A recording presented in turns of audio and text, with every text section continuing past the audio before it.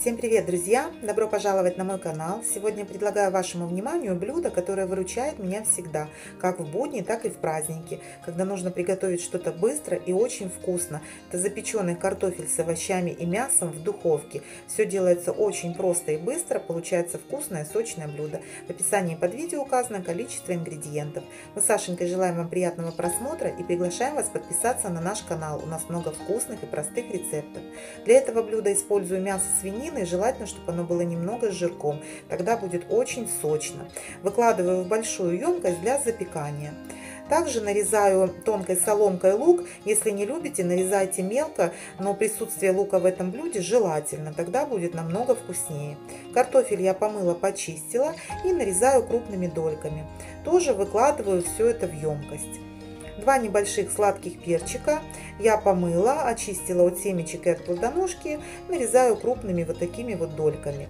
Отправляю туда же в емкость. И два помидора э, тоже нарезаю на крупные дольки. Безусловно, что лучше это блюдо готовить с сезонными овощами, но даже вот я готовила в марте, тоже было очень-очень вкусно.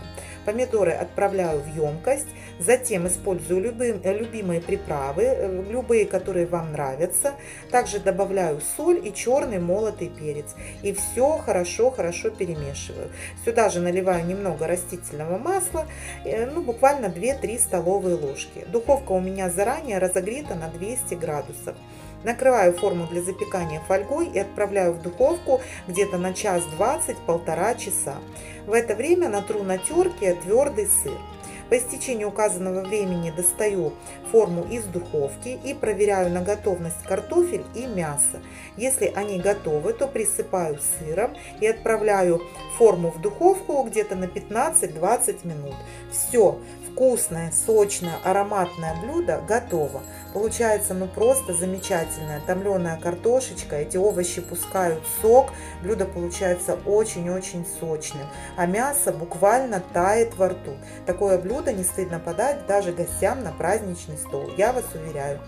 Мы с Сашенькой благодарим вас за просмотр, желаем вам приятного аппетита и отличного настроения. Если видео вам понравилось, ставьте нам лайк и подписывайтесь на наш канал. Очень ждем ваших комментариев. Нажимайте на колокольчик, чтобы ничего не пропустить. Смотрите другие наши видео.